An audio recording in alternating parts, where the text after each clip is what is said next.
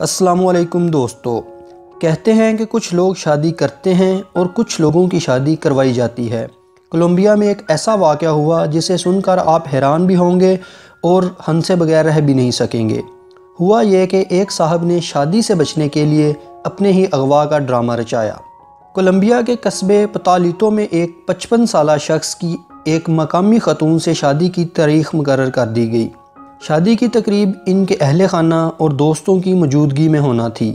لیکن شادی سے چند دن پہلے ہی ان صاحب کا ارادہ بدل گیا اور قریبی دوستوں کی محفل میں انہوں نے تذکرہ کر دیا کہ وہ شادی کرنا نہیں چاہتے۔ ان کی حقیقت دیکھ کر دوستوں نے کہا کہ کولمبیا میں اغوا برائے تاوان کی وارداتیں عام ہیں۔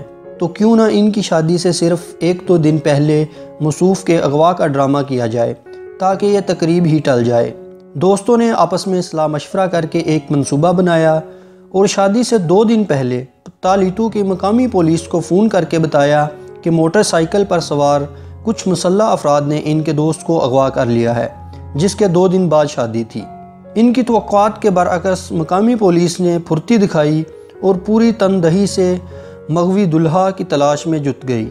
ابتدائی ناکامیوں کے بعد پولیس اہلکاروں نے اندازہ لگایا کہ شاید یہ حرکت کسی بڑے منظم گروہ کی ہے، جس سے لڑنا ان کے بس میں نہیں۔ اس لیے انہوں نے کولمبین فوج سے رابطہ کیا، جس کا ایک خصوصی یونٹ ایسی ہی وارداتوں کی چھان بین کے لیے مختص ہے۔ جب پولیس کے ساتھ ساتھ فوج نے بھی انصاف کی تلاش شروع کر دی، تو یہ سرچ آپریشن شدت اختیار کرنے لگا۔ تو دوستوں کو اندازہ ہوا کہ اب معاملہ حد سے آگے بڑھ رہا ہے، اور انہیں قانون نافذ کرنے والے اداروں کو سچ بتا دینا چاہیے۔ یہ سوچ کر وہ پولیس کے پاس پہنچ کے اور اغوا کی حقیقت بتا دی۔ جھوٹ بول کر پولیس اور فوج کے وسائل ضائع کروانے پر بگوڑے دلہا اور اس کے دوستوں کے خلاف مقدمہ درج کر لیا گیا۔ تازہ ہے کہ اس جرم پر انہیں چھ سال قید بامشقت تک ہو سکتی ہے۔ دوسری جانب پولیس نے بھی اپنے اغوا کا ڈرامہ کرنے والے صاحب کی اصلیت چھپائی ہوئی ہے۔ کیونکہ اگر ان صاحب کے بارے میں سب کو پتہ چل گیا تو شاید انہیں عوام کی جانب سے غصے اور نفرت کا سامنا بھی کرنا پڑ جائے۔ یہ بھی معلوم ہوا ہے کہ موصوف نے اس سے پہلے بھی ایک اور خاتون سے شادی کی حامی بر کر شادی سے چند دن پہلے ہی انکار کر دیا۔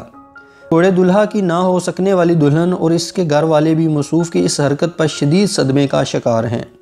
کیونکہ مغوی کو بازیاب نہ کروانے پر پولیس اور فوج سخت برہم تھے۔ آپ ہمارے اس چینل کو سبسکرائب کر دیں اور ساتھ موجود بیل آئیکن کو ضرور پریس کریں تاکہ اسی طرح انفارمیشن سے ریلیٹڈ تمام ویڈیوز آپ تک پہنچتی رہیں۔